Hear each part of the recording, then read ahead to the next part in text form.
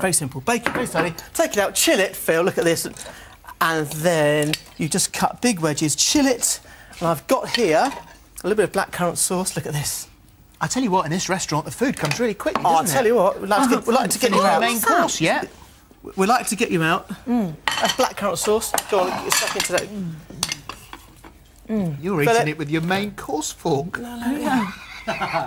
All goes down no the same way. her. Thank you. There you go. I've still got a mouthful of beef.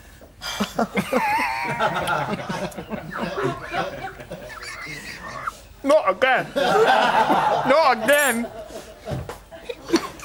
No, no, no, no, no, no, not again.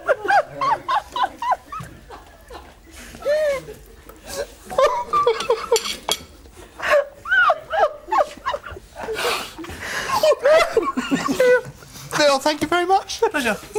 Excellent. I'm so sweet a You can find Phil's recipes on our website, itv.com slash this morning. coming up.